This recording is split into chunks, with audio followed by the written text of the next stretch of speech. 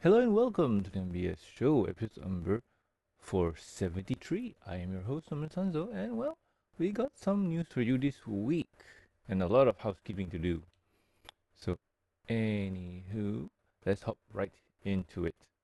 So, in the first news is more amazing G4 My Little Pony movie concept art appears. So, it might be and uh, it might be ancient at this point on internet time, but the G4 movie was a huge undertaking if we were sorry, if we really step back and look at it. The amount of hands that went into making it is pretty massive. Another artist has posted up a gallery of all the art they did for the project, including cut characters and background elements. We never even got to see, including stuff that wasn't in the movie book. And let's check out the gallery for a bit. Ooh. And here he is. Um, I'm just to scroll through. You guys can uh, click on the links and stuff. I'll highlight what I think it's worth mentioning and stuff. Uh, let's see. Let's see. Ah, this this guy. This this guy looks pretty interesting. so, what is he? He looks like a fish. By the tail, he looks aquatic. So this could have been a character for the what you call this. Hmm. Now that I think about it, he does look like one of those people in the uh, town. Town was it? And so on, and so on. Uh, yeah, we get to see oh dehydrated ponies, wet ponies, and the Storm King's minions, the Yeti, if I'm not mistaken. So this is how they look, and in the end, they turn out to be this, I think. Huh, we, we didn't get much. Oh, that's interesting. But as we carry on, like there, there is a lot of uh, interesting concept art here. Uh, this is how the hippogriffs were uh, look like before the movie changed them a bit. And yeah, we can see uh, some of the inspiration from uh, this kind of creatures and so on. And scrolling, scrolling, scrolling. Yeah, oh, uh, this is what Captain Celaeno, and this is how she looks like in concept and so on. And yeah, they, they really change a lot. They really change the whole concept a lot. And this character here looks really cool. Um, a crow pirate. Wow, that, that looks really cool. But we, we didn't get her that way or so on. So, uh, overall, I got the movie book and that was not in there. And yeah, this this is pretty awesome. This is pretty awesome. Like the steps that it took to create the movie and whatnot. And I'm pretty excited for the G5 movie because if it's if we get to see um, behind the scenes stuff like uh, concept art and whatnot, that is going to be really fun. Anyway, let's move on to the next news. Ha! Talking about G5, six new songs in My Little Pony G5, A New Generation. So, according to Ace uh, report uh, reportory, we have five songs coming up in G in the G5 My Little Pony movie. The titles are as follows Gonna Be My Day, My Little Pony A New Generation, Fit Right In, I'm Looking Out For You, Danger, Danger, Angry Mob, Glowing Up. All, uh, all in all, we have six composers throwing their skill into the mix, including Jenna Andrews, Brian Frizel, Taylor Cameron Epsheet, Alan Sh- wow, me no good names, uh, and Michael Men uh, Mahel. Oh, I got no idea how to say these names. Anyway, um, hopefully that means we have six awesome songs to remix the hell out of. So, usually when a title for song comes out, we we get a general idea of what they're gonna be. Um, gonna be my day is one of those things where you get the intro, and it's gonna be well, kind of catchy and whatnot. And then we got the new remix for the new intro, so that's gonna be exciting to wait and see or listen, and so on.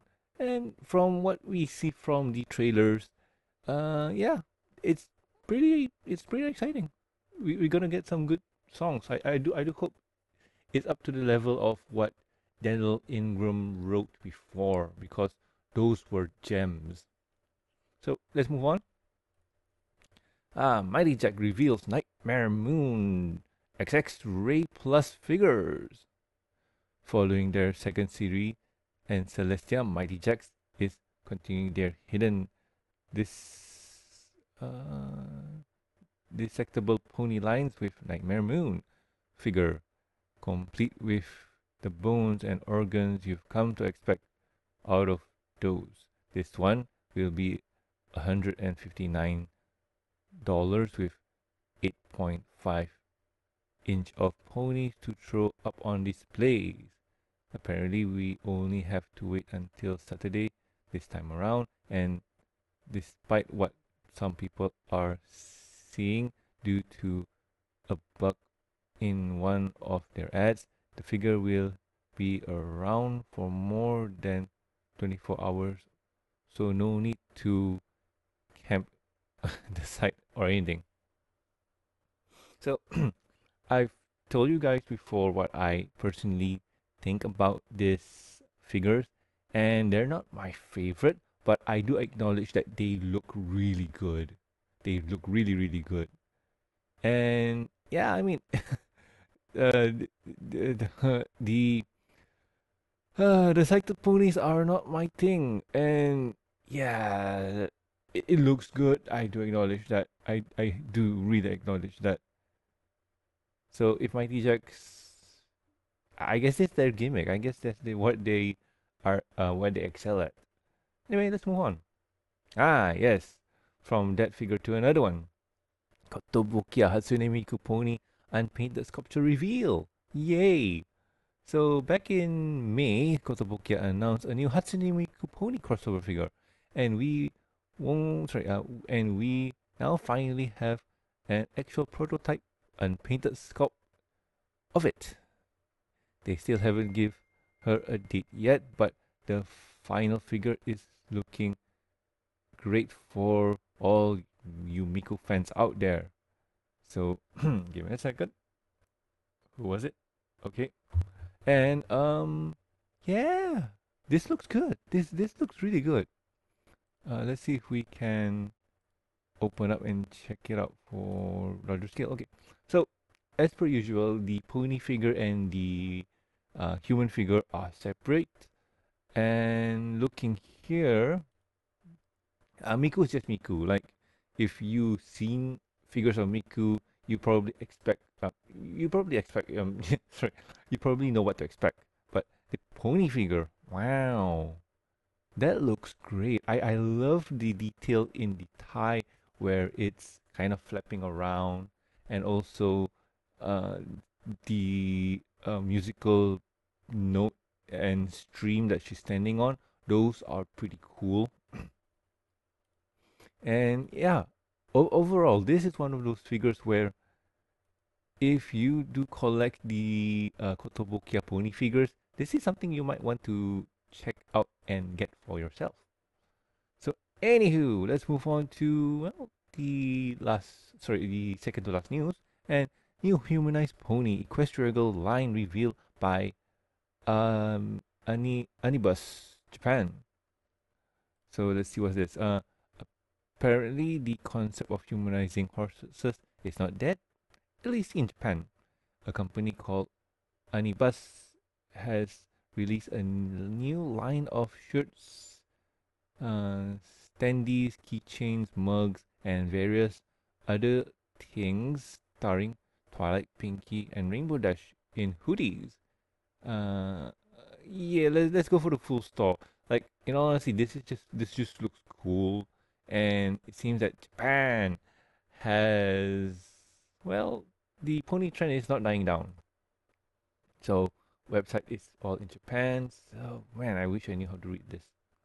Give me a second. This page is too bright. Let me see if I can darken it. Okay. I have tried. Okay, yay, cool. it works. So anywho, now it's dark. My eyes won't hurt. So we have shirts, standees like Seth said, keychains, mugs, and got no idea what's this, but still, they, these are pretty cool. And I got no idea what brought this on because well my little pony as a brand has some pull and it's known worldwide but my real question here is in terms of what is this in japan? Like suddenly why? The art looks great and whatnot and if i'm not mistaken equestria girl hasn't really shown all of it in japan. Like uh, most of the equestria girl series are up to um the third movie something like that I, I, I could be mistaken but we get all this quote unquote uh, custom art and whatnot. You know, I'm gonna just try and click one of the standees, see how it works. And yeah, um, this this looks good. This looks good. And I'm guess I'm guessing you guys at home are probably wondering why this? Like, what are you gonna do with it? It's just going to be sitting on your whatever it is. I mean, it's not gonna be great, right? That's where you're wrong, folks because I have this Fluttershy standee. Oh god, it needs to zoom in and the zoom is not auto. God dang it. So anyway, um I bought this at one of a con. I forgot which one. It could be um Con Thailand. And or was it Singapore? I forgot.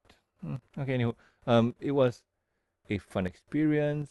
I, I bought it and I put it on my um, monitor on top of my monitor and whenever I sit down and look up I see Fluttershy yay so it's a nice kind of decorative thing if you're into the character and whatnot uh, it's cheaper than having a figure and so on so yeah but man this really confused me by why, uh, who drew this and what's this all about. But hey, uh, if Japan has their thing, so that's awesome. And let's move on to the last news. Boulder Media recruiting for Secret 2D animation Netflix project with Pony Life Header. Mm. So the banner or the whatever it is, it's, uh, it says we're hiring 2D animators wanted for a super secret Netflix show. Boulder Media, click the link in the post to apply. So this advertising was on Twitter and so on. So, mm, okay. Um, in all honesty, this could be pony related. This could not be pony related. My bet is not for now. And Boulder Media has done a lot of projects, but uh, one of their big client projects, in my opinion, and as I know of without doing any research, is My Little Pony. Because My Little Pony has that, well, it has that, what you call this, uh, heritage, that legacy, that pool. It was, it's well known across all the internet it's it's there it's only it's uh, pony's own thing and using ponies as their what you call this um attraction to work on 2D animation, it makes sense. But like I said, we got no idea if it's pony related or not. And in all honesty, I think what they should have done was use all the IPs that they've worked on before to kind of attract people to come and work for them. Unless this project is a pony project, then yes, that makes sense. But overall, we got no idea. But if you are a 2D animator and want to work in the industry, you can try and apply. Who knows? You might get the job and you might be creating awesome 2D shows for kids and adults worldwide. Yay. And I'm done with the news. So, let's move on to the next topic. And the next topic is what have I been doing my week? So, there's a few things. Ooh, okay, hand here. Yeah, good. Okay. Uh, I, I guess I do this. Right, right. There is a few things that happened to me recently. Um, I think housekeeping is in order.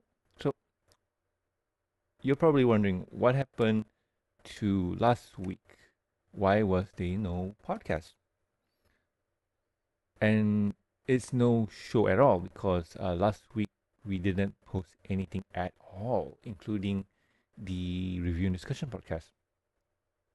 And the reason was that I was well, reason one was I was trying to collect news, or well, more news, and thought about, hey, um, these news are kind of slow and a bit, you know, um, down to earth. No, not really. I mean, low key and kind of what's the word I'm looking for? A Kind of mellow. Yes, that's that's the word. So the, the news were kind of mellow. So I thought, you know what? I could compile this with next week. So that's one of the reasons.